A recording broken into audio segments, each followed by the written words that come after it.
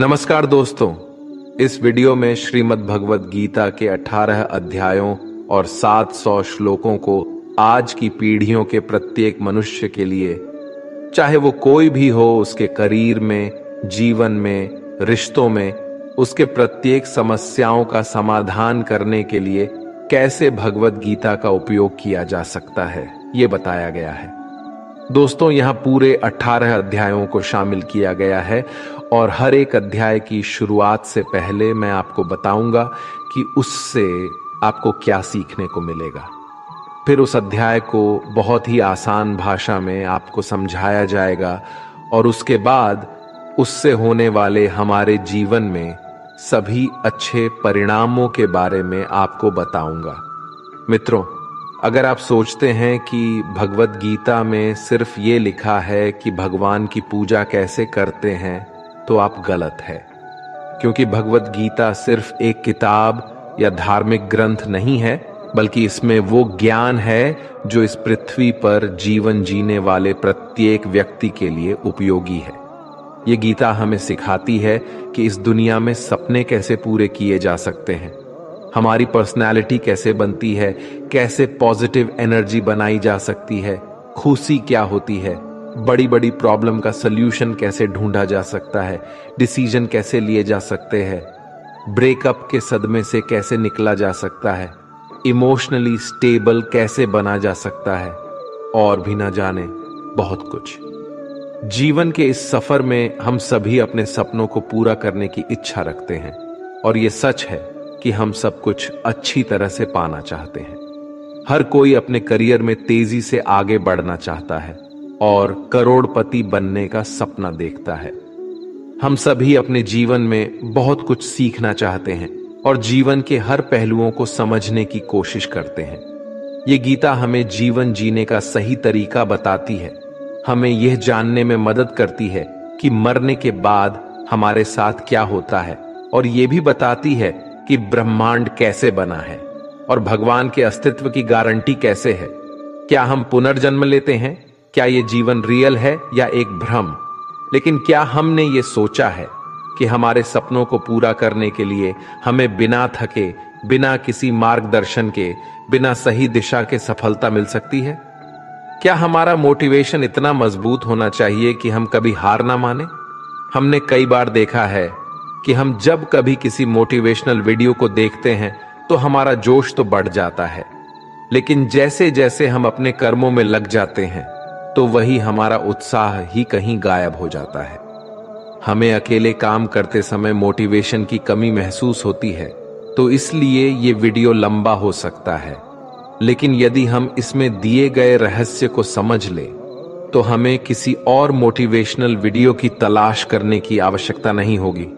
और हमें अपने उस लक्ष्य की ओर बढ़ने में मदद मिलेगी, जिससे हमें अपने जीवन में प्राप्त करना है।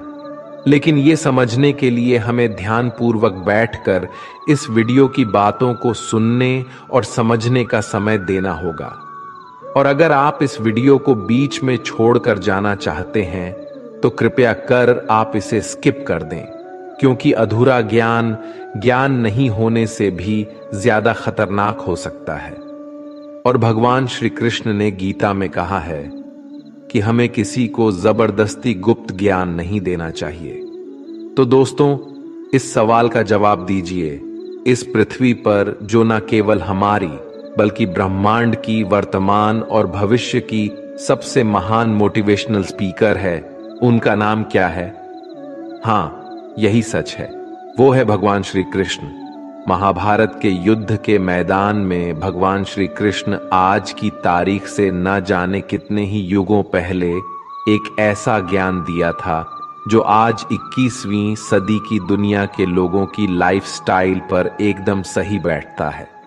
और ये जानकर के बड़े बड़े लोग रिसर्च करने वाले हैरान हो जाते हैं कि ऐसा कैसे हो सकता है कि उस महाभारत के युद्ध के मैदान में दिए गए ज्ञान को पढ़कर Mahatma Gandhi Albert Einstein, Annie Besant, Sunita Williams और स्वामी विवेकानंद और ना जाने कितने लोगों ने अपना जीवन बदल लिया।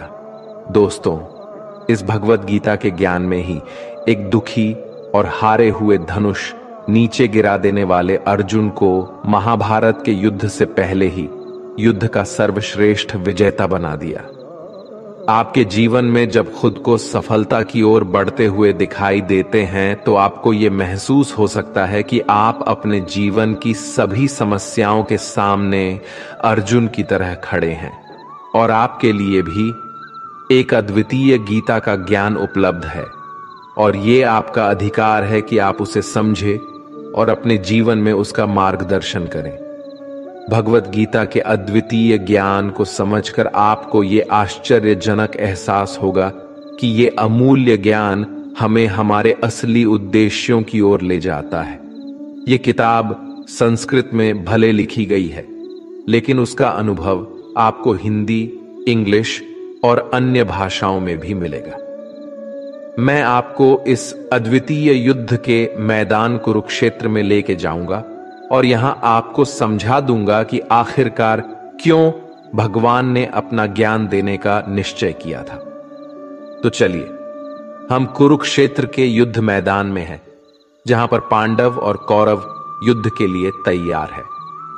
और यही से भगवत गीता का पहला अध्याय शुरू होता है। पहला अध्याय, अर्जुन विषाद योग, अर्थात अर्जुन की मानसिक दुविधा। दोस्तों इस परम ज्ञान को जानने से पहले कमेंट में जय श्री राधे कृष्ण अवश्य लिख दीजिए। और इस वीडियो से आपको कुछ भी सीखने को मिल रहा है तो वीडियो को लाइक करके चैनल को सब्सक्राइब कर लीजिए और बेल नोटिफिकेशन आइकन को ऑल पर सेट कर लीजिए। तो फिर चलिए आगे बढ़ते हैं।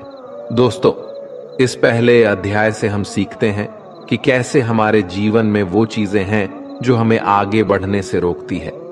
चाहे हमारे पास ज्ञान का बहुत बड़ा भंडार हो, हमारे पास काबिलियत हो, लेकिन फिर भी हम सही फैसला नहीं ले पाते और हमारे कार्य में सफलता नहीं मिल पाती।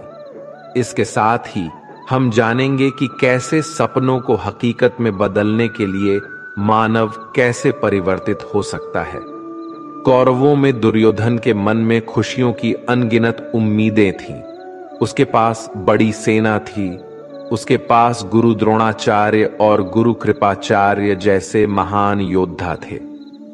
पांडवों की सेना में अर्जुन, भीम और पांडवों के पाँचों भाइयों के साथ भगवान कृष्ण भी थे। अब ये युद्ध पूरी तरह से परिवार के बीच होने वाला युद्ध बना हुआ था। पांडव और कौरव दोनों एक ही बड़े परिवार के थे और इसके बावजूद हर किसी में जितने का इरादा था। भगवान श्री कृष्ण के साथ अर्जुन ने अपनी सेना को सामने लाकर खड़ा किया, ताकि वो देख सके कि उसको किन किन लोगों को मारना है। इस घड़ी में भगवान कृष्ण ने अर्जुन के रथ को मैदान के बीच में ले आए। वहाँ कुरुक्षेत्र के युद्ध मैदान में कौरवों की सेना में अर्जुन के सामने दादा भीष्म और गुरु द्रोणाचार्य खड़े थे। और गुरु द्रोणाचार्य ने ही अर्जुन को तीर चलाना भी सिखाया था। अर्जुन ने युद्ध के मैदान में जिधर देखा, वहाँ दोनों ही और परिवार वाले और गुरुओं के शिष्य ही नज़र आ रहे थे। इस दृश्य को देखकर अर्जुन बहुत ही दुखी हो गए और कृष्ण से बोले कि, यहाँ तो हर कोई मेरा सगा संबंधी है। मैं अपने ही लोगों को युद्ध में नहीं मार सकता। मुझे इस राज्य के लिए तो क्या, अगर कोई तीनों लोग भी दे दे तो भी मैं ऐसा युद्ध नहीं करूँगा, जिसमें मुझे अपनों को ही मारना पड़े। गीता के इस पहले अध्याय से हमें यह सीखने को मिलता है कि वास्तविक सोच कैसी होती है। हमें कभी कभी नहीं पता होता कि हमारे काम करने का इरादा क्या है, हम किस चुनौती का सामना करेंगे, और जब हम किसी बुरी स्थिति का सामना करते हैं तो हम संयम खो बैठते हैं, घबरा जाते हैं, और अपना वास्तविक धर्म भूल जाते हैं। भले ही अर्जुन युद्ध कला में माहिर थे, और वो युद्ध करने के लिए मैदान में धनुष उठाने की कला को सिखाने वाले गुरु द्रोणाचार्य के शिष्य थे, लेकिन वे अपने लगाव के कारण कर्म का सही फैसला नहीं ले पा रहे थे। इससे हमें यह सीखने को मिलता है कि जब हम जीवन में आगे बढ़ने के लिए तैयार होते हैं तो हमें अपने लगाव को खुद से दूर रखना चाहिए। मित्रों आप इसे इस तरह से समझ सकते हैं। मान लीजिए, आपका दिल से किसी व्यक्ति से गहरा प्यार है, लेकिन वो व्यक्ति आपके प्यार को समझने का मन नहीं रखते। इस बदले में आपको उसके प्रेम को प्राप्त करने के लिए मोहित नहीं होना चाहिए, क्योंकि लगाव किसी भी रूप में हानिकारक हो सकता है। जब तक ये लगाव है, तब तक आप अपने आत्मा के धर्म को पूरा नहीं कर सकते। गीता का दूसरा अध्याय, सांख्य योग, यानी कि पुरुष प्रकृति का विश्लेषण करना। मनुष्य पाँच संख्या से बना है, आग, पानी, मिट्टी, हवा। अंत में मनुष्य इसी में मिल जाता है। भगवान श्री कृष्ण ने अर्जुन को बताया कि जीवन में सबसे बड़ा योग कर्म योग है। भगवत गीता के दूसरे अध्याय से हमें इमोशनल स्टेबिलिटी, आत्मा, मृत्यु, पुनर्जन्म और डिसीज़न मेकिंग के बारे में सीखने को मिलता है। यहाँ हमें गुस्से के सबसे बड़े कारण और उनके समाधान के बारे में भी बताया गया है। जब अर्जुन ने युद्ध करने से मना किया तो सारथी श्री कृष्ण ने कहा, हे hey अर्जुन, ये तुम्हें अचानक से क्या हो गया है? तुम जैसे महान योद्धा के मुँह से ऐसी बातें शोभा नहीं देती। इसलिए अपने इस मन की कमज़ोरी को छोड़कर युद्ध के लिए फिर से खड़े हो जाओ। इस पर अर्जुन ने कहा कि इस युद्ध से बेहतर है कि मैं एक भिखारी बन जाऊँ, क्योंकि मेरे पास यहाँ तक तो अपनी ज़िंदगी का कोई अहम मकसद ही नहीं है।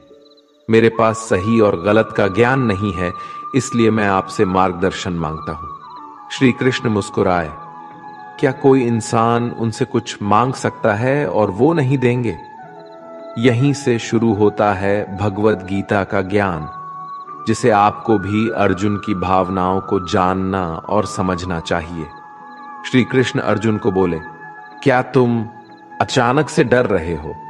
तुम्हें डरना नहीं चाहिए, क्योंकि ये लोग तुम्हारे मारने से ही मरेंगे, और तुम्हें ही उन्हें मारना होगा। इन सब लोगों का पिछले जन्म से और आगे के जन्म के साथ कोई संबंध नहीं है। वे तुम्हारे जैसे अनादि है। इसलिए जैसे कि तुम अपने पुराने कपड़े बदलकर नए पहनते हो, वैसे ही आत्मा शरीर को छोड़ देती है। हे अर्जुन, तू किसी मरे हुए इंसान को जीवित नहीं कर सकता, क्योंकि जीवन और मृत्यु का नियंत्रण सिर्फ़ मेरे पास है। तू तो उनकी मौत का सिर्फ़ एक कारण है, और ये लोग मरने के बाद भी मेरे ही पास आएँगे, क्योंकि वे शरीर नहीं है, वो तो आत्मा है।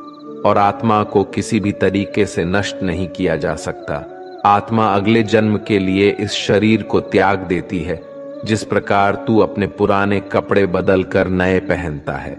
इसी तरह से जैसे कोई कछुआ खुद को खुद में ही समेट लेता है, वैसे ही मनुष्य अपनी इच्छाओं को वश में कर लेता है।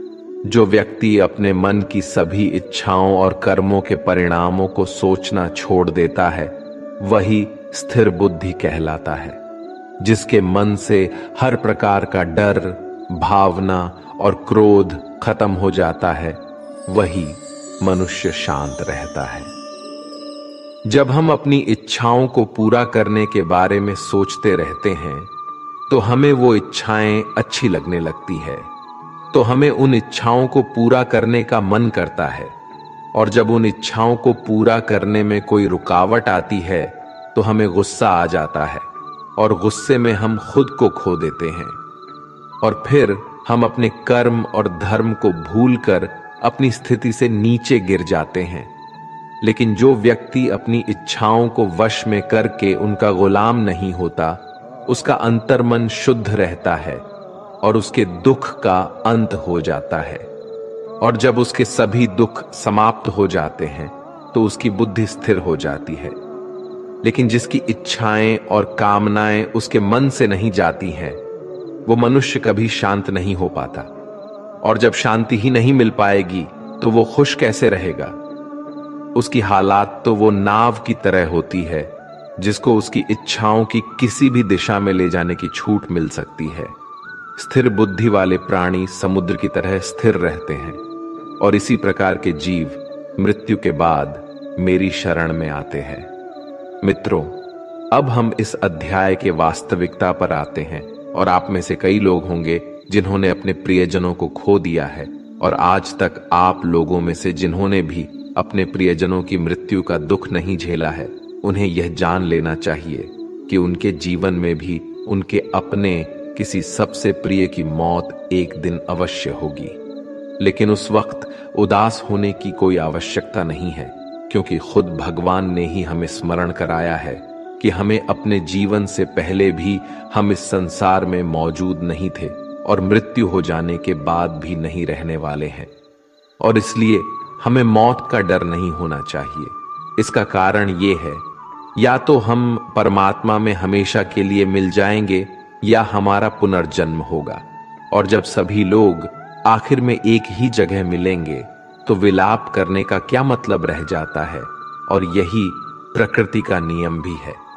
और आपको स्मरण रहे कि हम कोई शरीर नहीं है। हम तो केवल आत्मा है और उस परमात्मा के अंश है। और अगर हमें बनाने वाला ईश्वर है तो हमें उनमें ही मिलने का प्रयास करना चाहिए। उनमें ही लीन हो जाना चाहिए। यह संसार तो एक भ्रम है, जिससे उस परमात्मा ने बनाया है। हमने देखा था कि अर्जुन निर्णय लेने में असमर्थ थे। जब भी हम कोई निर्णय लेते हैं तो एक और हमारा मुँह होता है, और दूसरी और हमारा वास्तविक कर्म होता है। और इस खेल में हम वो नहीं कर पाते हैं, जो हमारा असली काम होता है, और जो हमें जीवन में सफलता के मार्ग पर आगे बढ़ने में मदद करता है। इससे हम एक एग्ज़ाम्पल से समझते हैं। मान लीजिए आपको अपने घर से दूर कहीं किसी और शहर में शिक्षा के लिए या नौकरी के लिए या अपने किसी लक्ष्य को पूरा करने के लिए जाना पड़ रहा है तो आपको अपने परिवार का मोह तो छोड़ना ही पड़ेगा। इसी तरह से आपको प्रत्येक निर्णय में यह ध्यान रहे कि आपके मोह और आपके वास्तविक कर्म में कौन ज़्यादा महत्वपूर्ण है। इसके पश्चात हम चर्चा करेंगे कि हमारी समस्याओं का सबसे बड़ा कारण क्या है और उनका मुख्य समाधान क्या है। मित्रों, हमारे दुखों का सबसे महत्वपूर्ण कारण है हमारे खुद की इच्छाओं के बारे में विचार करना। जब हम अपनी इच्छाओं के बारे में सोचते हैं तो वक्त बीतने के बाद हम उन्हें पूरा करने की कोशिश करते हैं। और जब ये कोशिशें असफल हो जाती है तो हमारे अंदर क्रोध पैदा होता है। और क्रोध एक ऐसी चीज़ है, जिसे कोई भी मनुष्य अपने शरीर को त्यागने से पहले नहीं छोड़ता है। तो फिर आप अपने जीवन के बाकी हिस्से में सच्ची खुशियों को कैसे प्राप्त कर सकते हैं? आप हमेशा अपने आप को समस्याओं से घिरा हुआ ही पाएँगे, क्योंकि यह दुनिया तो केवल आपकी खुद की छाया ही तो है। अब आप सोच सकते हैं कि जीवन में कोई इच्छा नहीं रखने से सफलता कैसे हो सकती है।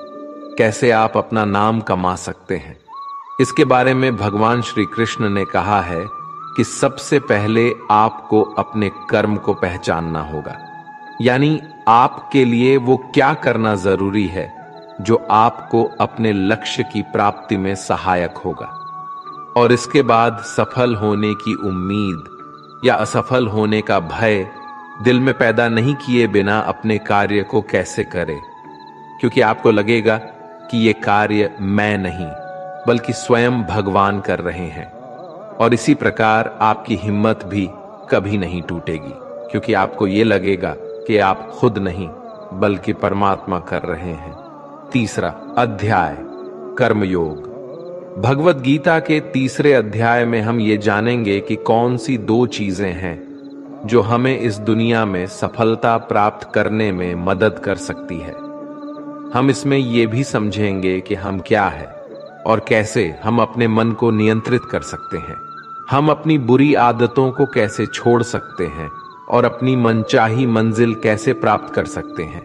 अर्जुन ने पूछा, क्या ज्ञान कर्म से ज़्यादा महत्वपूर्ण है? आप तो सन्यासी बनने की बात कर रहे हैं, लेकिन फिर भी युद्ध करने की सलाह दे रहे हैं। कृपया बताए, मैं ज्ञान का मार्ग चुनूं या कर्म का मार्ग? श्री कृष्ण ने उत्तर दिया, इस संसार में मैंने खुद दो प्रकार के योग दिए हैं। एक है ज्ञान योग और दूसरा है कर्म योग। तुम मनुष्य हो और तुम अपने शरीर के कर्मों को पूरी तरह से छोड़ नहीं सकते। तुम्हें हर दिन काम करना ही पड़ेगा, जैसे कि तुम्हें खाना खाना है और सांस लेना है। और अगर तुम अपनी इच्छाओं को किसी भी प्रकार से रोकने की कोशिश करोगे तो तुम्हारे मन में कभी भी ये संदेह नहीं होने वाला कि तुम अपनी इच्छाओं के बारे में नहीं सोचोगे। इसका अर्थ है कि तुमसे जाने अनजाने में कर्म तो हो ही जाएगा, क्योंकि तुम मनुष्य ही तो हो तो तुम अपने धर्म से भी बंधे हो। इसलिए तुम्हारे लिए सन्यास के रास्ते की जगह कर्म का रास्ता ज़्यादा सही है। मतलब ज्ञान योग या सांख्य योग की जगह कर्म योग उचित होगा।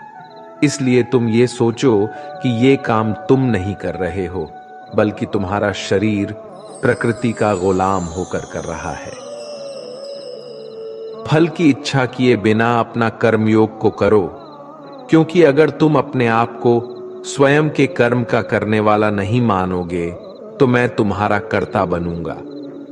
और जब मैं तुम्हारा कर्ता बनूँगा तो तुम्हें बिना मांगे ही वो सभी सुख सुविधाएँ दूँगा जिसकी तुम्हें ज़रूरत होगी।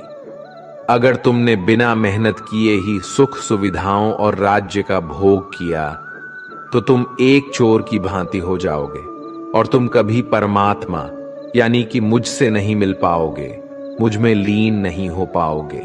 जिस तरह से महान लोग खाने के लिए नहीं, बल्कि जीने के लिए खाते हैं, उसी तरह से तुम भी परिणाम के लिए नहीं, बल्कि भलाई के लिए युद्ध करो। हे अर्जुन, तुम मनुष्य में सबसे बड़े हो। इसलिए जैसा तुम करोगे, ठीक वैसा ही तुम्हारी संतान या आने वाली सभी पीढ़ियाँ करेंगे। अर्जुन, तुम मुझको ही देख लो। मैं तो भगवान हूँ। मुझे भला किसी काम को करने की क्या आवश्यकता है? पर मैं इसलिए अपना काम करता हूँ, क्योंकि मनुष्य की आत्मा मेरा ही तो एक छोटा सा हिस्सा है। और जैसा मैं करूँगा, वैसा ही फिर मनुष्य करेगा। और इस तरह से तो पूरी सृष्टि ही नष्ट हो जाएगी। कोई अगर तुम्हारा साथ भी ना दे या तुम्हारी बुराई भी करे तो तुम उनको बिना कुछ कहे सिर्फ़ अपना कर्म करते जाओ।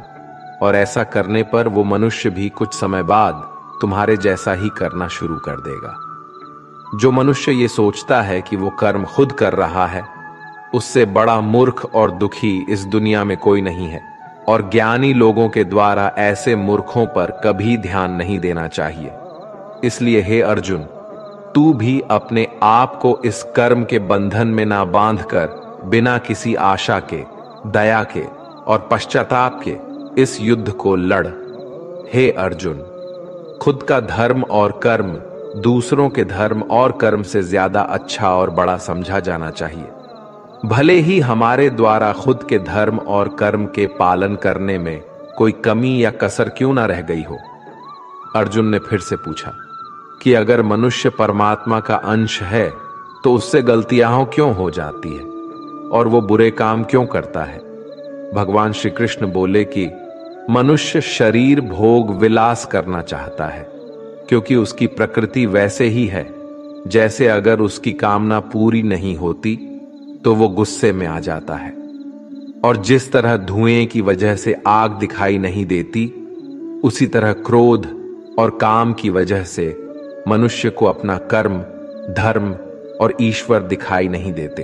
और इसी वजह से क्रोध और कामनाओं में आकर मनुष्य अपनी इंद्रियों और मन पर कंट्रोल खो देता है और ना चाहते हुए भी बुरे काम और गलतियाँ कर बैठता है।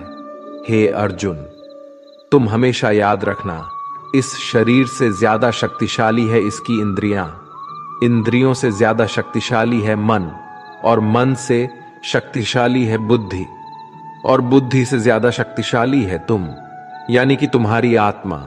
इसलिए हे अर्जुन, तू अपनी आत्मा से अपनी बुद्धि को वश में कर तो तुम्हारी बुद्धि मन को वश में करेगी, और फिर मन तुम्हारे इंद्रियों को वश में करेगा, और इंद्रियाँ तुम्हारे शरीर को, यानी कि तुम्हारे बुरे कर्मों को।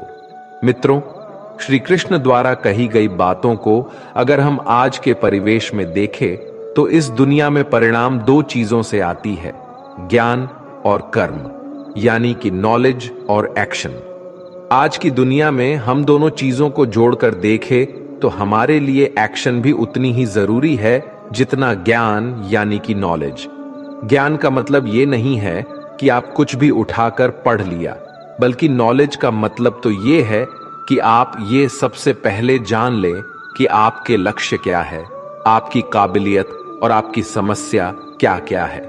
और इन सबको मिलाकर अपने लक्ष्य तक पहुँचने की आपकी प्लानिंग क्या क्या है? यह है आपकी ज्ञान, यानी कि नॉलेज इसके अलावा, आपको एक और चीज़ ध्यान में रखनी है, कि आप शरीर नहीं हो, आप केवल एक आत्मा हो। आपकी आत्मा, यानी कि आप खुद अपनी अच्छी बुरी भावनाओं, अपने विचार से भी बहुत ऊपर हो। और अगर आप इस तरह से सोचोगे तो अवश्य ही आपकी समस्याएँ दूर हो जाएँगी और वो बहुत छोटी लगने लगेगी। इस अध्याय में आगे बढ़ने पर हम दूसरे रास्ते के बारे में जानेंगे। श्री कृष्ण कहते हैं कि हमें कभी ये नहीं सोचना चाहिए कि कर्म हम कर रहे हैं। हमें यह सोचना है कि हमारे द्वारा ईश्वर कर रहे हैं। और जब हम इस तरह से सोचेंगे तो हमारे जीवन में दो अच्छे प्रभाव होंगे। पहला ये कि आप अपनी मेहनत के परिणाम को लेकर आपको कोई भी टेंशन नहीं होगी। और दूसरा ये कि आप अपने मन को स्थिर करके सबसे ज़्यादा मेहनत करने लगोगे। सभी शब्दों की बजाय ये आपको समझना चाहिए कि आपको कभी भी अपने कर्मों के परिणामों पर खुश या दुखी होने का अधिकार नहीं है।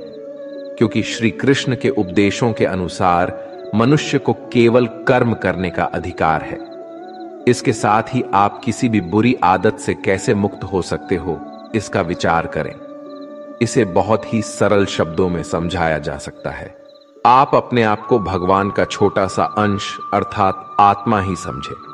और इसके बाद आप जब अंतर ध्यान से, यानी अपने आत्म के ध्यान से अपने मस्तिष्क को नियंत्रित रखोगे और मस्तिष्क से अपने मन को, और फिर जब आपका मन आपके शारीरिक इंद्रियों को नियंत्रित कर लेता है तो बुरी आदतों को छोड़ना कुछ भी मुश्किल नहीं होगा।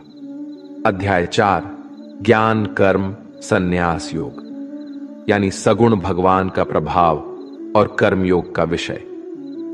भगवत गीता के चौथे अध्याय से हमें यह ज्ञात होता है कि भगवान कब और किस रूप में पृथ्वी पर आते हैं, और यहाँ तक कि गुरु से ज्ञान कैसे प्राप्त किया जा सकता है, और ज्ञान क्यों ज़रूरी है।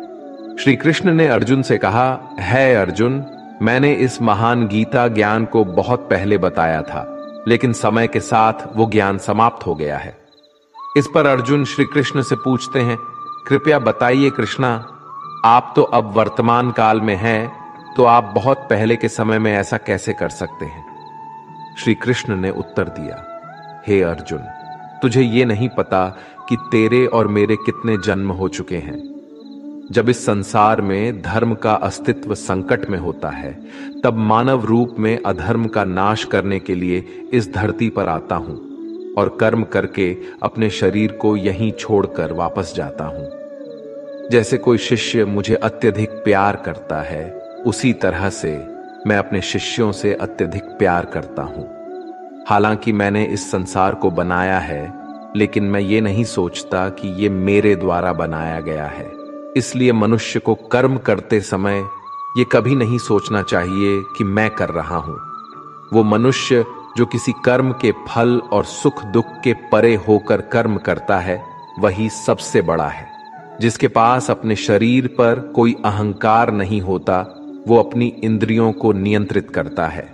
वही व्यक्ति सबसे श्रेष्ठ होता है, और अर्जुन, जो इस भूमि पर खुश नहीं रह सकता, वो कहीं भी खुश नहीं रहता। इसलिए किसी मनुष्य को, अपने गुरु को पहचान कर अपनी इंद्रियों को नियंत्रित करके, अपने लोग को छोड़कर उनकी सेवा करने का प्रयास करना चाहिए, ताकि वे उनसे वो ज्ञान सीख सके, जिससे कि बड़े से बड़े पापी भी मेरी शरण में आ सकते हैं।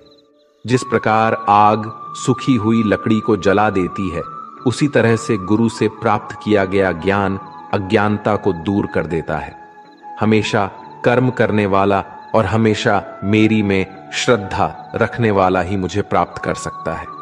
इसलिए, जिसने कर्मयोग के माध्यम से सभी कर्मों को और अपने आप को परमात्मा के लिए समर्पित कर दिया है, उस मनुष्य को उसके कर्मों के बंधन में कभी भी नहीं बांधा जा सकता। इसलिए अर्जुन, तू भी मेरे दिए हुए ज्ञान से समझ कि कर्म नहीं बल्कि मैं कर रहा हूँ। दोस्तों इस चौथे अध्याय में स्पष्ट रूप से कहा गया है कि जब भी मानवता का नाश होता है तो नेगेटिव ऊर्जा लोगों में अत्यधिक होती है। तब तक भगवान किसी भी रूप में आकर धर्म को पुनः स्थापित करते हैं। इसमें यह भी बताया गया है कि अगर किसी से आपको कुछ सीखना है तो सबसे पहले आपके मन में उसके प्रति सम्मान होना चाहिए। कोई लालच नहीं होना चाहिए और बुरी भावना भी नहीं होनी चाहिए। और ये ज्ञान प्राप्त करना और सीखना हमारे लिए क्यों आवश्यक है? और इसका कारण क्या है? हम अगर किसी क्षेत्र में हो तो स्वाभाविक रूप से बताया जा सकता है कि हमें उस क्षेत्र के गुरु से ज्ञान प्राप्त करना होगा। और ज्ञान वो तरीका है, जिससे इस जीवन में, अपने लक्ष्य से और उस जीवन में आपके परमात्मा से मिल सकता है। अध्याय पाँच, कर्म संन्यास योग। भगवत गीता के पाँचवें अध्याय में कर्म संन्यासियों का वर्णन किया गया है। और हम जानेंगे कि अपने लक्ष्य को कैसे प्राप्त किया जा सकता है और कैसे हमारे शरीर ने हमें आलस्य में बांधने की कोशिश की। अर्जुन ने कहा, है श्री कृष्ण, मैं अभी भी ये नहीं समझ पा रहा हूँ कि मेरे लिए कर्म अच्छा है या कर्मों से सन्यास। तो श्री कृष्ण ने उत्तर दिया, देखो अर्जुन, सन्यास और कर्म वे दो अलग अलग मार्ग हो सकते हैं, लेकिन दोनों का ही लक्ष्य तो समान है, और वो है परमात्मा। जो व्यक्ति अपने मन को भटकने नहीं देता, जो कर्म करके भी यही समझता है कि कर्म उसने नहीं किया है, बल्कि ये तो परमात्मा ने किया है, और जो सभी जीवों को उसी परमात्मा का हिस्सा मानता है, वो मनुष्य मरने के बाद परमात्मा में ही मिल जाता है। महान व्यक्ति अपने प्रत्येक कार्य को, अपने विचारों को स्पष्ट करने और दूसरों के हित के लिए ही करते हैं। परमात्मा कभी भी मनुष्यों को बुरे काम करने के लिए नहीं प्रोत्साहित करता, बल्कि लोग खुद ही अपने क्रोध और मोह में आकर बुरे कार्य करते हैं और फिर उसी प्रकार से उनके फल सुनिश्चित हो जाते हैं। मैं तो बस उनका प्रतिफल उन्हीं को वापस देता हूँ। तुम अपने शरीर को चाहे कितना ही आनंदित कर दो, इसके इच्छाएँ तब भी पूर्ण नहीं होती। इसलिए अर्जुन, तेरे जैसे बुद्धिमान व्यक्ति को शरीर की इच्छाओं में मन नहीं लगना चाहिए। इस संसार का असली मूल्य होता है वो, जिसने अपने शरीर का नाश होने से पहले अपने क्रोध का नाश कर लिया हो। जो संपूर्ण प्राणियों का हित करता है, जिसका मन किसी भी कार्य में नहीं बनता, और जो अपने भटकते हुए मन को एक जगह केंद्रित करके परमात्मा को याद करता है, वही व्यक्ति सुखी भी है, और परमेश्वर सहित सभी के प्रिय भी। इसलिए हे अर्जुन, ये इंद्रियाँ, मन बुद्धि, इच्छा आशा, डर और क्रोध ही तेरे शत्रु हैं। इन्हें छोड़ दो। दोस्तों, हमारी बॉडी अर्थात हमारा शरीर हमेशा आराम से रहना चाहता है। लेकिन क्या आपने कभी सोचा है कि अगर इसमें आत्मा नहीं होती तो क्या होता? हम अक्सर अपने शरीर को ही अपनी पहचान मान लेते हैं। हम कहते हैं, ये मेरी आँखें हैं, ये मेरे हाथ है। और जब हमारा शरीर हमें आराम करने के लिए बोलता है तो हम सो जाते हैं। लेकिन क्या आप ये सोच सकते हैं कि शरीर आपकी बुद्धि पर भारी हो गई है।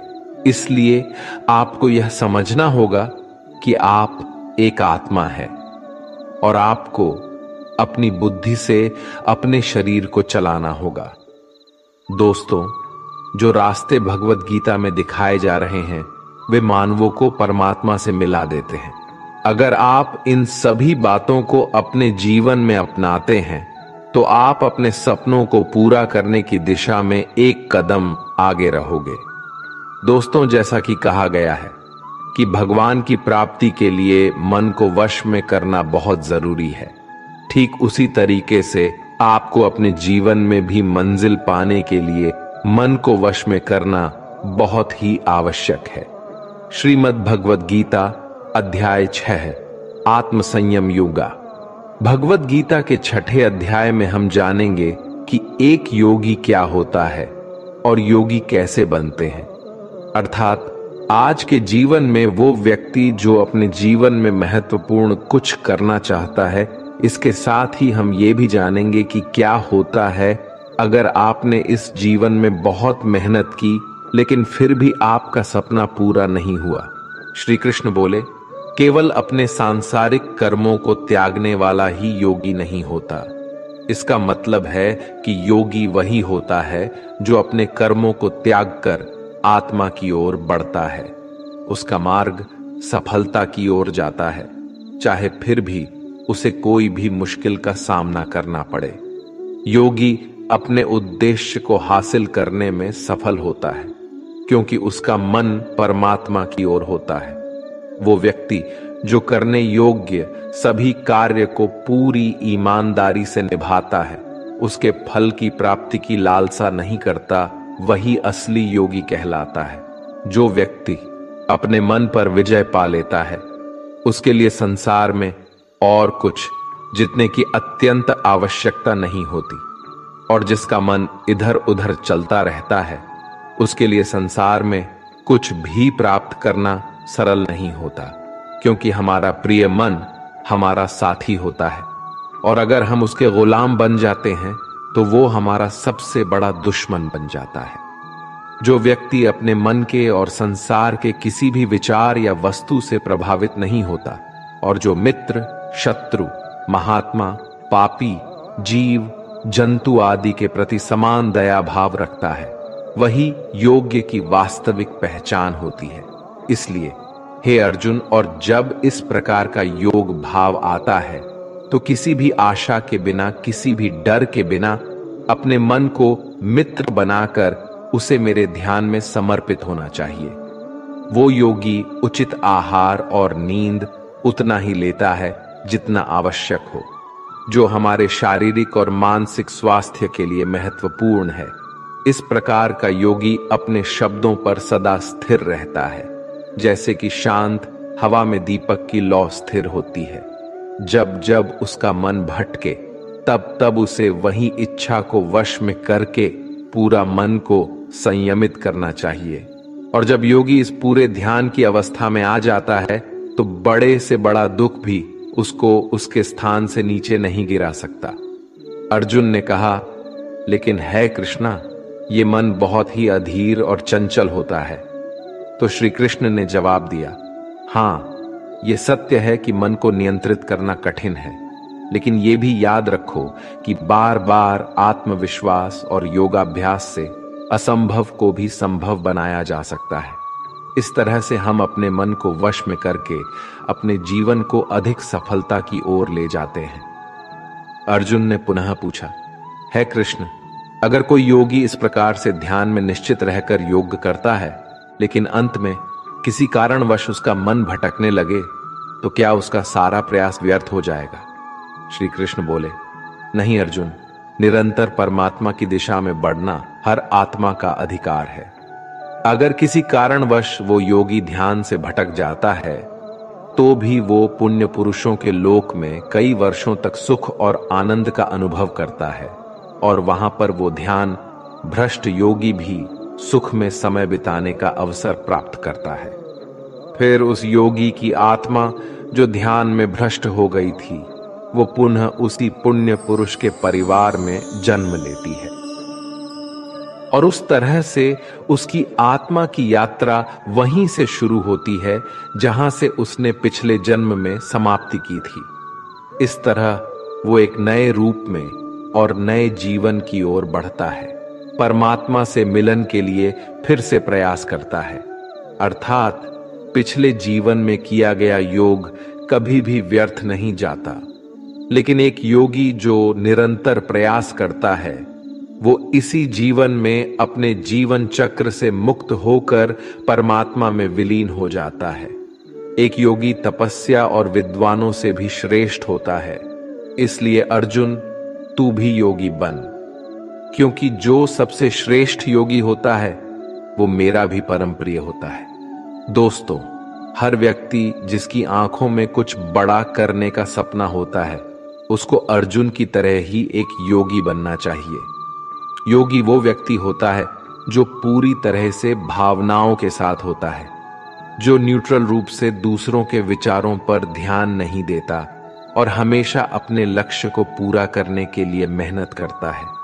लेकिन दोस्तों, जीवन का कोई भी पथ किसी के लिए भी पूरी तरह से पूर्ण नहीं होता। ये बात हमेशा याद रखनी चाहिए। क्या कोई इंसान उसके सपने पूरे होने से पहले ही मर जाता है तो उसकी मेहनत की कीमत किसी काम की नहीं रहती और अपने सपने सपने ही रह जाते हैं। ऐसा क्यों होता है? तो इसका जवाब इसमें छिपा है कि एक बहुत ही गुप्त बात है, जिसे भगवान श्री कृष्ण ने इस अध्याय में बताया है। कि अगर आप मेहनत कर रहे हैं और आपने बहुत अनुभव जमा लिया है, बहुत सारा ज्ञान प्राप्त कर लिया है, फिर भी आपको अपनी मंजिल नहीं मिल रही है और किसी कारणवश आपको असफलता का सामना करना पड़ रहा है तो भी आपकी मृत्यु हो जाए या फिर आप सपनों को पूरा करने के लिए बूढ़े हो जाए। तो इस प्रकार के मरने के बाद भी आपके स्वर्ग में आपके कर्मों के अनुसार आनंद मिलेगा। और जब आपके अच्छे कर्मों का बैलेंस खत्म हो जाएगा तो फिर से धरती पर जन्म लेके वापस आएँगे। और जन्म भी ऐसे माहौल या घर में होगा, जिसमें आपको पिछले जन्म के ज्ञान का स्तर पाने के लिए मेहनत नहीं करनी होगी। वो तो स्वतः आपको मिल जाएगा। आपको फिर उसके बाद के ज्ञान को पाने के लिए एक पुनः पूरी नई ज़िंदगी मिल गई होती है। ऐसा मैं नहीं। बल्कि भगवान श्री कृष्ण ने भी योगियों के बारे में इस गीता के छठे अध्याय में बताते हुए कहा है। और उन्होंने उन लोगों के लिए भी विशेष बनाया है, जो सच में बहुत ज़्यादा मेहनत करते हैं। मित्रों ट्रू लाइफ स्पिरिचुअल ज्ञान पर आप सुन रहे हैं संपूर्ण भगवत गीता का सार। इस परम ज्ञान आपको अच्छी लग रही है तो कमेंट में जय श्री राधे कृष्ण अवश्य लिख दीजिए। और इस वीडियो से आपको कुछ भी सीखने को मिल रहा है तो वीडियो को लाइक करके चैनल को सब्सक्राइब कर लीजिए और बेल नोटिफिकेशन आइकन को ऑल पर सेट कर लीजिए। चलिए आगे बढ़ते हैं। श्रीमद् भगवद गीता अध्याय सात, ज्ञान विज्ञान योग। इस अध्याय में जो भगवान का ज्ञान है हमें यह बताया गया है कि ईश्वर कैसे संसार को नियंत्रित करते हैं। ईश्वर को कौन से भक्त सबसे अधिक प्रिय होते हैं, इसके बारे में भी ये जानकारी दी गई है। लेकिन ये सवाल हम सबके मन में उठता है कि क्यों इंसान भगवान को नहीं पहचान पाता है। भगवान कृष्ण इस प्रश्न का उत्तर देते हुए कहते हैं कि, हे अर्जुन अब मैं तुझे वो बात बताऊँगा, जिन्हें जानकर तू इस संसार में किसी और ज्ञान की तलाश में नहीं भटकेगा। हज़ारों लोगों में से कोई एक ही होता है, जो ब्रह्म ज्ञान की खोज करता है, और वो कोशिश करके ही उसे प्राप्त करता है। और ऐसे हज़ारों कोशिशें करने वालों में से कोई एक ही मेरे प्रेम में विश्वास और समर्पण के साथ प्राप्त कर पाता है। मेरे दो रूप हैं, एक जन रूप जिसमें पृथ्वी, वायु, जल, अग्नि और आकाश, साथ ही मन, बुद्धि और अहंकार है। वही दूसरा है चेतना रूप, जिसमें सृष्टि का चक्र है। समय को भी मैं ही निरंतर चलाता हूँ। जल, ओमकार, चंद्रमा, सूरज, मैं ही हूँ। पृथ्वी की सभी पवित्र ग्रंथ, बुद्धिजीवियों का तेज, अग्नि और तपस्वियों का तप, धर्मों का पवित्र कर्म अलग अलग समयों का काल और बलवान का बल भी मैं ही हूँ। इस संसार के लोग सांसारिक गुणों के बंधन में जकड़े हुए हैं, इसलिए मैं किसी को अपने असली रूप में नहीं दिखाई देता हूँ। और वास्तविकता में ये संसारी गुण भी मेरी माया ही तो है, मगर जो मनुष्य इस मोह माया को तोड़ देता है, वो मेरा भक्त बन जाता है। माया के जाल में फंसे हुए मूर्ख लोग मेरी शरण में नहीं आ सकते हैं। कोई भी भक्त चार विभिन्न प्रकार से मेरी पूजा करता है। कोई प्राप्ति की इच्छा रखने वाला, कोई दुख के समय मुझे याद करने वाला और कोई मुझे पहले से ही जानने वाला। लेकिन इनमें से मुझे सबसे अधिक प्रेम करने वाला ज्ञानी भक्त पसंद है। ये चारों भक्त दयावान होते हैं, लेकिन ज्ञानी पुरुष तो मानो मेरा ही रूप है। और ज्ञानी भक्तों में से वो व्यक्ति भी शामिल है जिन्होंने मुझे बहुत सारे जन्मों से माना है और मृत्यु उसके बाद भी उनकी आत्मा मुझमें ही मिल जाती है। जो भक्त किसी इच्छा की पूर्ति के लिए किसी देवता की पूजा करते हैं, उनकी आस्था में मैं वही देवता बना देता हूँ और उस भक्त को अंततः वो देवता प्राप्त हो जाते हैं। इस फल की अवधि समय सीमित होती है।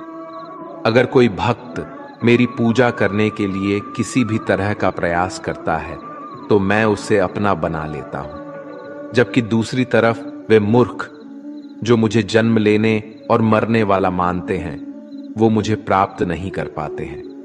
मैं भूतकाल, वर्तमान और भविष्य को जानता हूँ। हालाँकि श्रद्धा रहित लोग मुझे नहीं जान सकते। वे भक्त जो सांसारिक मोह और माया को छोड़कर उच्च कर्मों का अभ्यास करके मेरी भक्ति करते हैं। वे मृत्यु से मुक्त होकर मुझमें ही लीन हो जाते हैं। जब आप अपने जीवन में कोई लक्ष्य स्थापित करते हैं तो समय बीतने के बाद वो लक्ष्य भूलने की आशंका हो सकती है। क्योंकि विभिन्न विचारों और कार्यों की बहुत अधिक चिंता होती है। भगवान श्री कृष्ण ने ये बताया है कि माया के जाल में फंसे व्यक्ति भगवान को भूल जाते हैं। और इसी तरह कई बार अपने महत्वपूर्ण लक्ष्य को भी भूल जाते हैं। और उन्हें लगता है कि उन्होंने जो लक्ष्य निर्धारित किया है, वो तो बेकार है, व्यर्थ है। वो सोचते हैं कि लाइफ तो केवल मज़े लेने के लिए है, क्या पता कल रहूँ ना रहूँ, और इस तरह की सोच रखने वाले व्यक्ति को गीता में मूर्ख कहा गया है। जो इतना भी नहीं जानते, ये जो डिस्ट्रैक्शन है या ये जो भटकाव है, ये मेहनत करने वालों को बस आजमाता है और ज़्यादातर लोग इसी भटकाव में बंद करके रह जाते हैं। वहीं दूसरी तरफ़, जो लगातार बिना डिस्ट्रैक्ट हुए कठिन परिश्रम करता है, वही व्यक्ति सफलता को प्राप्त कर पाता है और इसके मन को शांति प्राप्त होती है। अध्याय आठ, अक्षर ब्रह्म योग इस अध्याय में हम जानेंगे कि भगवान क्या है और उन्हें कैसे प्राप्त किया जा सकता है, देवता क्या होते हैं? और इस संसार का कारण क्या है? ये सभी बातें हम इस अध्याय में सीख सकते हैं। अर्जुन ने पूछा, है कृष्णा, परम ब्रह्म क्या होता है? आध्यात्म का स्वरूप क्या होता है? कर्म क्या होता है? यह संसार कैसे चलता है? और देवता कौन होते हैं? इसलिए इस अध्याय में अर्जुन के इन सभी प्रश्नों के उत्तर भगवान श्री कृष्ण द्वारा दिए गए हैं। श्री कृष्ण कहते हैं कि जीवों की वास्तविकता ही अध्यात्म होती है। कर्म हमारे द्वारा पास्ट में किया गया त्याग होता है, जिसका परिणाम हमें वर्तमान में मिलता है। उसी तरह से हमारे वर्तमान में किए गए कर्म या त्याग वो भविष्य में मिलने वाले परिणामों को ही जन्म देते हैं। इस संसार का निर्णय करता वो मैं ही हूँ। और जब कोई व्यक्ति अंत के क्षण में अपने मन में वही भाव और अपने ध्यान को उसी भाव में स्थिर करके शरीर को छोड़ता है तो वो उसी भाव को प्राप्त करता है। इसलिए मुझे याद करने वाले हमेशा मेरे पास आते हैं। इसलिए अर्जुन तू भी मुझमें ही ध्यान कर और युद्ध करके तू मुझे ही पाएगा। वे लोग मुझे सदैव याद करते हैं। वे सरलता से मेरे पास आते हैं और जो मेरे पास आते हैं, उनके जन्म मरण का चक्र समाप्त हो जाता है। उनके सारे दुख हमेशा के लिए खत्म हो जाते हैं। श्रीमद भगवद गीता के अनुसार सहस्त्र युग अहर यद्ध ब्राह्मणों विधु अर्थात ब्रह्मा का एक दिन एक हज़ार महायुग के बराबर होता है। इसके अनुसार ब्रह्मा का एक दिन चार अरब बत्तीस करोड़ सौ वर्ष होता है।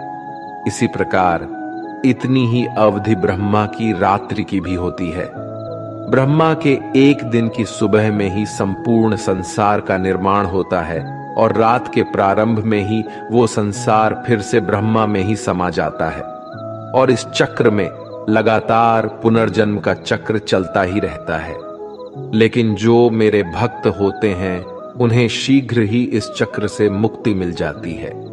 इसलिए हे अर्जुन, मैं तुझे वो दो मार्ग बताता हूँ, जिससे लोग या तो मोक्ष को प्राप्त करते हैं, या फिर से इस संसार में उन्हें वापस आना पड़ता है। जब सूर्य का प्रकाश होता है तो शुक्ल पक्ष चल रहा होता है, और सूर्य उत्तरायण में होता है जब कर्म योगी जो शरीर छोड़ने वाला होता है, मेरे पास हमेशा के लिए आ जाता है। और जब रात्रि होती है तो कृष्ण पक्ष आता है और सूर्य दक्षिणायन में मौजूद होता है। उस समय पर कर्मयोगी अपने शरीर को त्याग कर परलोक में जाते हैं और वहाँ बहुत समय तक आनंद सुख भोगते हैं। फिर संसार में उन्हें वापस आना ही पड़ता है। केवल एक योगी ही इस रहस्य को समझकर, सभी कर्मों के फलों के मोह को छोड़कर परम ब्रह्म में मिल पाता है। अब हम इस चैप्टर को आजकल के समय में देखें तो वो लोग जो अपने लक्ष्य को हमेशा के लिए यादगार बनाना चाहते हैं, उन्हें बहुत ही मेहनत करनी पड़ती है। क्योंकि जैसा श्री कृष्ण ने बताया है, ये संसार का चक्र बहुत बड़ा है, और लोग आते जाते रहते हैं। लेकिन वे लोग जो अपने जीवन में अद्वितीय निश्चय रखते हैं, उन्हें ज्ञान योगी और कर्म योगी बनना होता है। ब्रह्मा का एक दिन बहुत लंबा होता है। इसका मतलब है कि यह ब्रह्मांड बहुत पहले से मौजूद है और बहुत आगे तक चलेगा, और हमारा जीवन इस ब्रह्मांड के सामने बहुत छोटा होता है। इसलिए हमें ऐसा नहीं होने देना चाहिए कि हम सिर्फ़ अपने सपनों में खो जाएँ और ब्रह्म के दिन की शाम हो जाए। अध्याय नौ राज विद्या राजगुय योग। ये अध्याय हमारे मानसिक और आत्मिक जीवन को उसके स्वभाव और दिव्यता के साथ जोड़ता है और उसके मध्य संतुलन को बनाए रखना सिखाता है। इस अध्याय में हम ये भी जानेंगे कि जब हम अलग अलग देवी देवताओं की पूजा करते हैं तो इससे क्या होता है? तो ऐसा क्यों करते हैं? और उसके परिणाम क्या होते हैं? श्री कृष्ण कहते हैं, वो मनुष्य जो मुझमें श्रद्धा नहीं रखते वो इस संसार में बार बार दुख झेलने के लिए आते जाते रहते हैं। मैं इस संसार को बार बार उत्पन्न और समाप्त करता हूँ। मैं ही मनुष्यों को उनके कर्मों के अनुसार फल देता हूँ, पुनर्जन्म देता हूँ। लेकिन मुझे अपने कार्य का कोई भी घमंड नहीं है।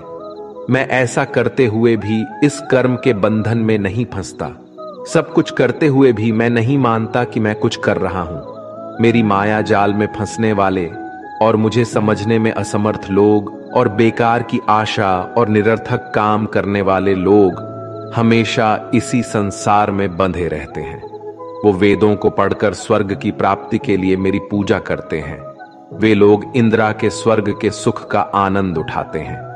लेकिन उनके स्वर्ग के सुख तब तक ही बने रहते हैं, जब तक कि उनके मानव जीवन के पुण्य समाप्त नहीं हो जाते हैं। और जब उनके पुण्य समाप्त हो जाते हैं तो उन्हें फिर से इसी पृथ्वी पर जन्म लेने का अवसर मिलता है।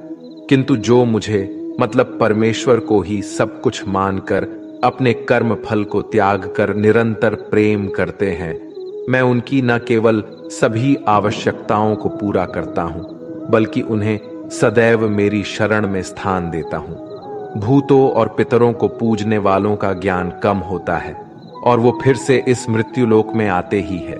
इसलिए अर्जुन यदि तू कुछ भी कर्म करता है और दान देता है तो उसे मुझमें स्मरण करके कर तो वो मुझे ही प्राप्त हो जाएगा। मेरे लिए प्रिय और अप्रिय सब बराबर है। यहाँ तक कि अगर कोई बहुत ही अत्याचारी हो, चाहे स्त्री हो या पुरुष, चाहे राजा हो या भिखारी, वो मुझमें ही समर्पित होकर इस अनंत सागर को पार कर पाता है। इस प्रकार अगर तू खुद को मुझमें अर्पित करेगा तो मैं ही तुझे प्राप्त हूँगा मित्रों इस अध्याय में श्री कृष्ण कहते हैं कि जो कोई भी भक्त सच्चे मन से किसी ईश्वर में पूजा और आदर उस ईश्वर के प्रति रखता है तो मैं उसके इस भक्ति को उस ईश्वर से जोड़ देता हूँ। अध्याय दस, विभूति योग। ये अध्याय बहुत ही महत्वपूर्ण है, क्योंकि इस अध्याय में भगवान श्री कृष्ण अपने दिव्य रूप की महत्वपूर्ण चर्चा करते हैं और अर्जुन को उनकी महिमा का दर्शन कराते हैं। ये अध्याय हमें ये बताता है कि भगवान कैसे हमारे चारों ओर मौजूद हैं और हमारे जीवन में उनका साक्षात्कार कैसे किया जा सकता है। वैसे तो आपने कई बार सुना है कि भगवान ऐसे हैं, भगवान वैसे है, सभी जगह है, प्रत्येक कण में है। श्री कृष्ण कहते हैं, हे अर्जुन, तू मेरा सच्चा मित्र है और मुझसे प्रेम करता है। इसलिए अब मैं तुझे स्वयं का वास्तविक परिचय देता हूँ। मेरे जन्म के बारे में किसी को नहीं पता। लेकिन जो ये जानता है कि मैं कभी नहीं जन्म लेने वाला और कभी भी नहीं मरने वाला हूँ, वही सबसे बड़ा ज्ञानी है। ज्ञान और मूर्खता, सत्य और झूठ, सुख और दुख, मन और बुद्धि, रचना और नाश, कृति और अपमान सहित सभी भाव वास्तव में मैं ही हूँ। इस जगत में जिस किसी ईश्वर की पूजा की जाती है, वो असलियत में मैं ही हूँ। दोस्तों इस अध्याय में भगवान ने हमें यह दिखाया है कि वे हमारे जीवन के हर पहलू में मौजूद हैं।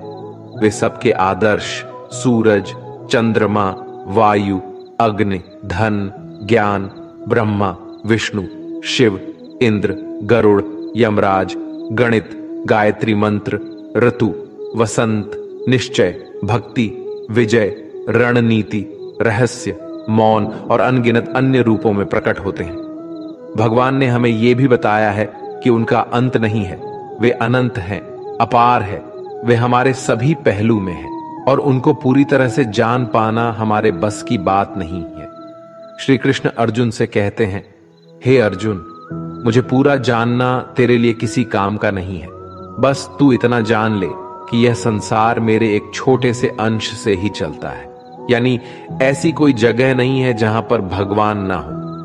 श्री कृष्ण ने यह भी कहा है कि अर्जुन को ना तो ईश्वर को पूरा जानना ज़रूरी है और ना ही वो कभी उन्हें कंप्लीटली जान पाएँगे। मित्रों, अगर हम इसे अपनी लाइफ में इस तरह से रिलेट करें कि जैसे भगवान ने कहा है कि मैं अनंत हूँ और तू उतना ही जान जितना तेरे लिए आवश्यक है, बिल्कुल उसी तरह से आपको भी अपनी लाइफ में उन चीज़ों में अपने टाइम और एनर्जी वेस्ट नहीं करनी है। जो आपके लिए आवश्यक नहीं है, जो आपके कर्म से हट करके है। केवल आपके वास्तविक कर्म से जुड़े चीज़ों में ही अपना ध्यान लगाए, जिससे सफलता और मानसिक शांति प्राप्त हो सके। अध्याय ग्यारह विश्व रूप दर्शन। इस अध्याय में भगवान श्री कृष्ण अर्जुन को अपने दिव्य रूप का दर्शन कराते हैं।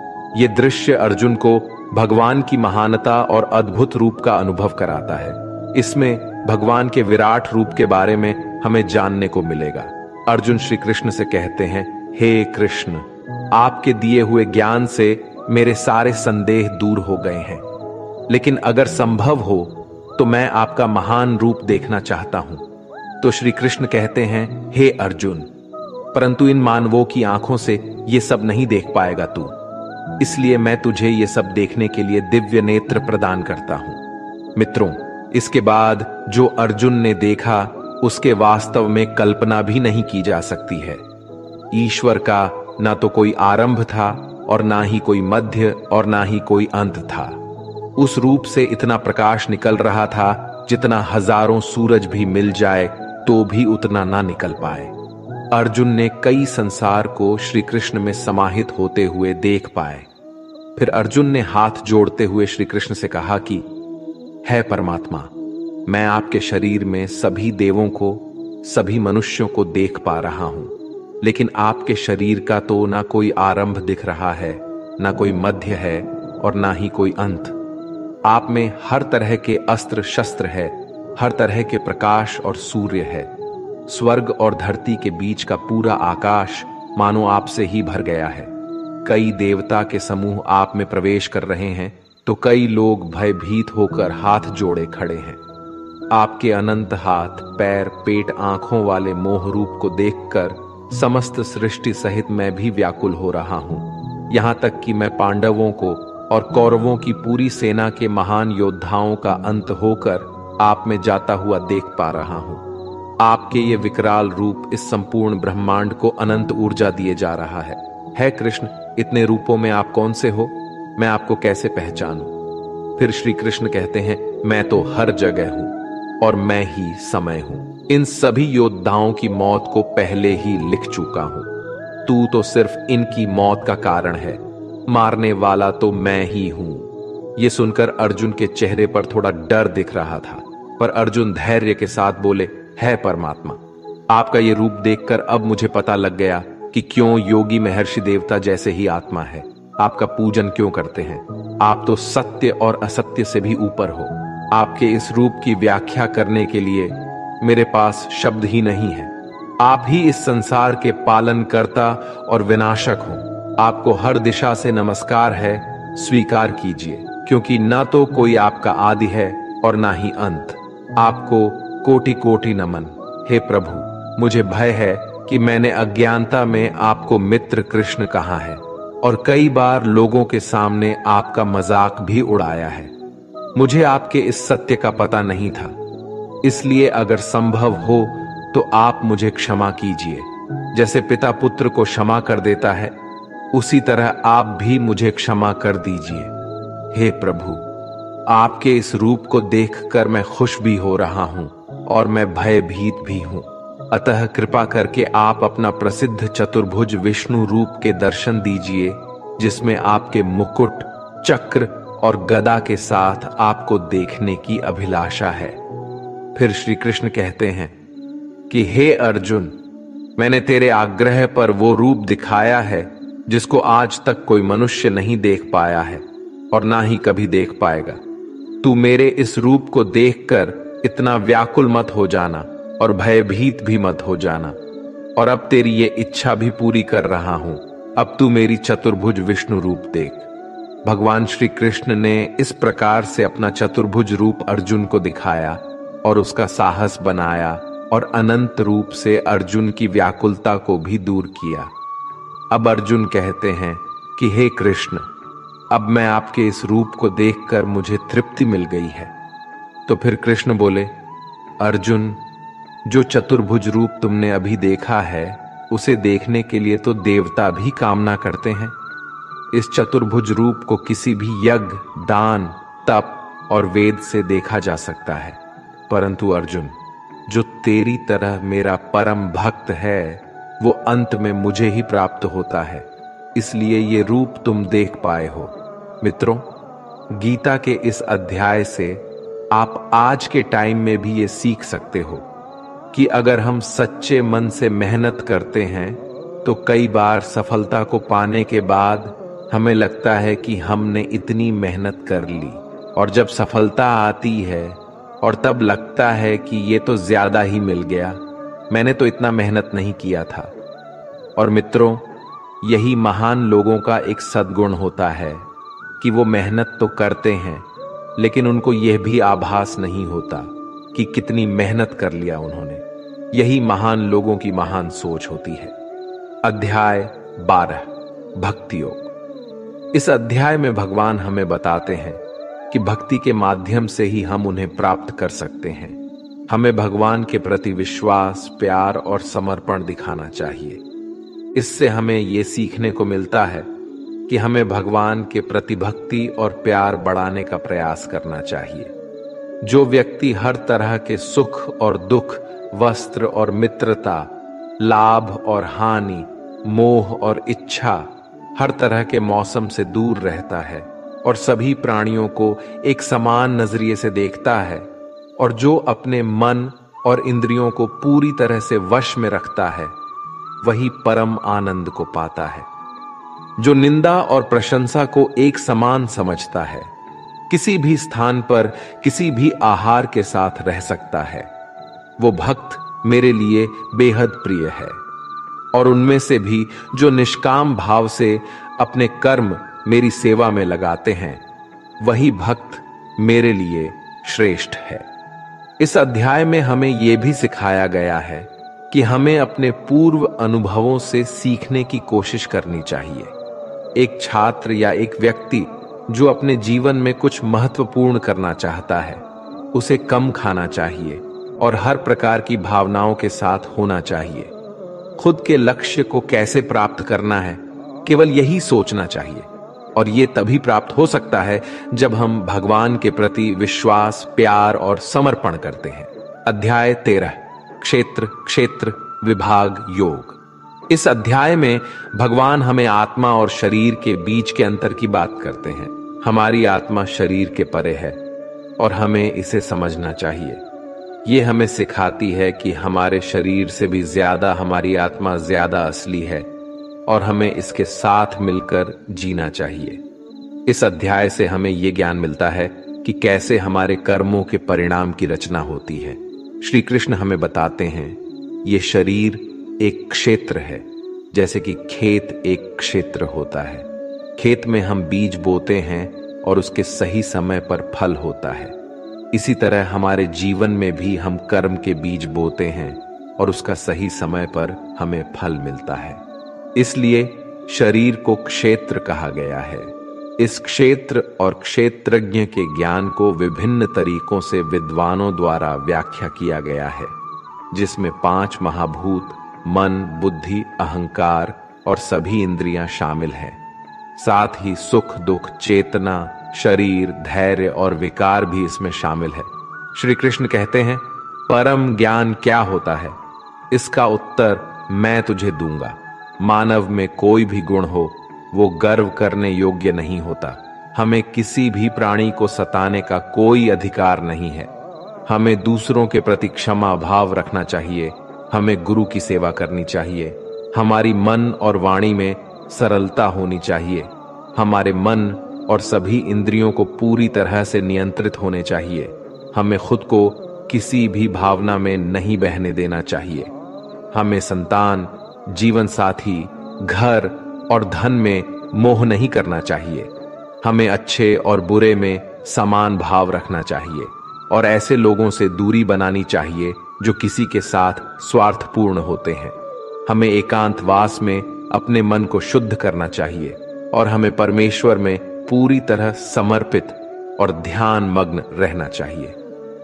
हे अर्जुन, अब मैं तुझे परम ब्रह्म के बारे में कहूँगा, जो सर्वव्यापी है। वो सब इंद्रियों के साथ भी इंद्रियों के बिना है, और वो निर्गुण होकर भी सभी गुणों के साथ है। वो सभी सजीवों और निर्जीव में है। वो दूर भी है और पास में भी है, लेकिन फिर भी जानने में नहीं आता। वो है ब्रह्म की तरह जीवन उत्पन्न करता है विष्णु की तरह है, पालन करता है और शंकर की तरह विनाश भी करता है। वो अलग अलग कालों में होते हुए भी एक जैसा लगता है और एक ही काल में भी अलग अलग तरह का होता है।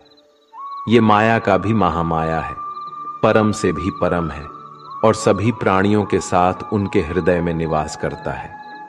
परंतु इसके बाद भी ये जानने योग्य है कि, हे अर्जुन इस प्रकृति और पुरुष का भी कोई आरंभ नहीं है, क्योंकि प्रेम और घृणा और तीनों तरह के गुण, यथार्थ, सतर्ज और तम भी प्रकृति से ही आते हैं। कार्य और कार्यों को करने वाली इंद्रियाँ भी प्रकृति से ही उत्पन्न होती है। प्रकृति से जन्मा मनुष्य प्रकृति के ही गुणों को भोगता है, और इन्हीं गुणों के अनुसार ही उसका जन्म और मरण तय होता है। इस तरह से जो भी मनुष्य पुरुष और प्रकृति के ज्ञान को जानता है, वो कर्म करता हुआ भी मुझे प्राप्त होता है, और मुझ परमात्मा को हर मनुष्य अपने अलग अलग तरीके से पाता है। और जो मंदबुद्धि होते हैं, वो तो इस ज्ञान को सुनकर और मेरी प्रकृति को जानकर ही वो भी मृत्यु लोक से मुक्त हो जाते हैं। ये अध्याय हमें सिखाता है कि हमारे शरीर के बाहर हमारी आलसी, हमारी असली आत्मा है और हमें उसके साथ मिलकर रहना चाहिए। अध्याय चौदह गुण त्रय विभाग योग, अर्थात गुणों का महत्व। इस अध्याय में भगवान गुणों के बारे में बताते हैं। सत्व, रजस और तामस के गुण। श्री कृष्ण कहते हैं, हे अर्जुन, अब मैं तुझे संसार के उन तीन गुणों के बारे में बताऊँगा, जो आत्मा को शरीर से बांधते हैं, और जिन्हें जानकर कोई भी मनुष्य मुझे पा सकता है। ये तीन गुण हैं सत्व गुण रजोगुण और तमोगुण। सत्वगुण सभी गुणों में श्रेष्ठ है और ये ज्ञान और सुख से जुड़ा होता है। कामना और आसक्ति से उत्पन्न होता है, जो कर्म और उसके फल में बनता है। रजोगुण मनुष्य को कर्म करवाता है और उसे अविचलित रहने नहीं देता। ये कामना और आसक्ति से उत्पन्न होता है। तमोगुण मनुष्य को बोझिल और मनुष्य को उसे आलस्य और निंद्रा में बाधित करता है। ये तीन गुण मनुष्य की प्रवृत्ति को प्रभावित करते हैं। जिस प्रकार सत्व गुण बढ़ जाता है तो मन में शांति और ज्ञान बढ़ता है। वही समय रजोगुण को बढ़ाता है। जब रजोगुण बढ़ता है तो मन में लालच और स्वार्थ का आभास होता है, और तब तमोगुण बढ़ता है। तमोगुण में अंधकार होता है और व्यक्ति मनोबल के खोने का अनुभव कर सकता है। ये तीन गुणों को वश में कर, जो व्यक्ति इन तीन गुणों के बारे में जानता है, तब वो अपने कर्तव्य को पालन करते हुए संसार से मुक्त हो जाता है और मुक्त होकर वो परम ब्रह्म को प्राप्त होता है। दोस्तों, ये तीनों गुण सभी के जीवन में महत्वपूर्ण है। अगर आप सकारात्मक परिणाम की कामना करके मेहनत कर रहे हैं तो यह निश्चित नहीं है कि आपको खुशी होगी या आप दुखी हो गए। इसलिए इस अध्याय से हमें ये सीखने को मिलता है कि हमें सत्वगुण को विकसित करना चाहिए, जो शांति और ज्ञान का प्रतीक है, जिससे हमारे जीवन में आध्यात्मिक उन्नति होती है और समय समय पर हम अपने गुणों की परीक्षा करके उन्हें सुधार सकते हैं। अध्याय पंद्रह, पुरुषोत्तम योग। इस अध्याय में भगवान हमें आत्मा की अमृता के बारे में बताते हैं। हमारी आत्मा हमारे शरीर से बड़ी होती है। श्री कृष्ण कहते हैं कि हमारा आत्मा अविनाशी है और इस संसार में हमारे कर्म, हमारे भविष्य को प्रभावित करते हैं। हमें इस बारे में जागरूक रहना चाहिए और ये समझना चाहिए कि हमारे कर्मों के परिणाम हमारे अगले जन्म में हमें प्राप्त होते हैं। इसलिए हमें सत्वगुण, रजोगुण और तमोगुण को समझने और उनका संतुलन बनाए रखने का प्रयास करना चाहिए। आत्मा हमें मुक्ति की ओर ले जाती है और हमें अपने कर्मों को सावधानी से चुनना चाहिए, ताकि हम सब कुछ सही दिशा में ले जा सके। इसी तरह से हम परम ब्रह्म की प्राप्ति कर सकते हैं और सभी व्यक्ति के अंतर्निहित परमात्मा को पहचान सकते हैं। इस अध्याय से हमें यह सीखने को मिलता है कि हमें सत्व गुण को बढ़ाने का प्रयास करना चाहिए और अपने अंदर के तमोगुण और रजोगुण को कम करने का प्रयास करना चाहिए, जिससे हम अपने जीवन में सफलता और आत्मा की मुक्ति की दिशा में आगे बढ़ सके। अध्याय सोलह, द्वासुर संपद विभाग योग, अर्थात गुणों का विभेद। इस अध्याय में भगवान हमें दैव्य और असुरी प्रकृति के बारे में बताते हैं। दैव्य प्रकृति वाले लोग धर्म, सच्चाई और प्रेम को प्राथमिकता देते हैं, जबकि असुरी प्रकृति वाले लोग अहंकार, क्रोध और द्वेष की दिशा में आगे बढ़ते हैं। श्री कृष्ण कहते हैं कि दैव्य स्वभाव वाले लोग अपने मन को शुद्ध रखते हैं, परमात्मा को याद करते हैं और सुख दुख को समान भाव से सहते हैं। वे धर्म का पालन करते हैं और दूसरों को कभी कष्ट नहीं पहुंचाते। उनमें अहंकार नहीं होता और वे सबको बराबर मानते हैं। विरोधाभास, क्रोध, आसक्ति और अज्ञान से युक्त असुरी स्वभाव वाले लोग दुश्मनी करते हैं और लोगों को कष्ट देते हैं। वे धर्म का अनादर करते हैं और बुरे कर्म करते हैं। वे हमेशा मोह में रहते हैं। हमें समझना चाहिए कि दैव्य स्वभाव का पालन करके हम अपनी आत्मा को मुक्ति दिला सकते हैं। जबकि असुरी स्वभाव से हम मोह के बंधनों में फंस सकते हैं। इस अध्याय से हमें ये सीखने को मिलता है कि हमें दैव्य स्वभाव का पालन करना चाहिए और आसुरी स्वभाव से बचना चाहिए। इस अध्याय से हमें यह भी सीखने को मिलता है कि हमें सात्विकता का अनुसरण करना चाहिए और आपसी सम्मान, धर्म और शांति की दिशा में अग्रसर होना चाहिए। राजस और तामस की ओर नहीं बढ़ना चाहिए, क्योंकि ये हमें बंधनों में फंसा सकते हैं। अध्याय सत्रह, श्रद्धा त्रिय विभाग योग। अर्थात श्रद्धा का महत्व। यह अध्याय भगवत गीता का अहम अध्याय है, जो हमें श्रद्धा और धारण के महत्व के बारे में सिखाता है। श्रद्धा का अर्थ होता है विश्वास, और ये हमारे जीवन में अत्यधिक महत्वपूर्ण है। इस अध्याय में भगवान हमें ये बताते हैं कि हमें अपने कर्मों को ईमानदारी से करना चाहिए और अपनी धारणाओं में स्थिर रहना चाहिए। हमें भगवान के लिए आदर्श बनना चाहिए और विश्वास से उनका पालन करना चाहिए। इससे हमारे जीवन में सुख, शांति और सफलता की प्राप्ति होती है। श्री कृष्ण अर्जुन से कहते हैं, हे अर्जुन, हमें कर्मों को सही तरीके से करना चाहिए। और उन्हें ईश्वर के लिए समर्पित करना चाहिए। श्रद्धा और हमारे पूर्व कर्म हमारे जीवन को पूर्ण बनाते हैं और हमें ईश्वर के प्रति प्यार और आस्था का एहसास कराते हैं। इसलिए श्रद्धा से ही हम सफलता को प्राप्त कर सकते हैं और हमें हमारे कर्मों को ईश्वर के लिए समर्पित करना चाहिए। हमें अपने जीवन में सच्ची और दिल से आस्था बनानी चाहिए। क्योंकि वो हमें आदर्श और आदर देती है, जो अंततः हमारे जीवन को संवारती है। अध्याय 18 मोक्ष संन्यास योग। दोस्तों, इस अध्याय में हमें त्याग और संन्यास के बीच परस्पर संबंधों के बारे में बताया गया है, और इसलिए ये अध्याय बहुत ही ज़्यादा महत्वपूर्ण हो जाता है, क्योंकि त्याग और संन्यास के रास्ते भी मोक्ष की प्राप्ति की जा सकती है। अब वो कैसे? चलिए इस अध्याय में जानते हैं। वास्तव में त्याग और संन्यास एक ही है। इस पूरे गीता ग्रंथ का सार आपको इसी विचार में मिलेगा। इसलिए आपको इस अध्याय को ध्यान से सुनना चाहिए। अर्जुन ने सवाल किया, है कृष्णा, मुझे त्याग और सन्यास के बारे में जानना है।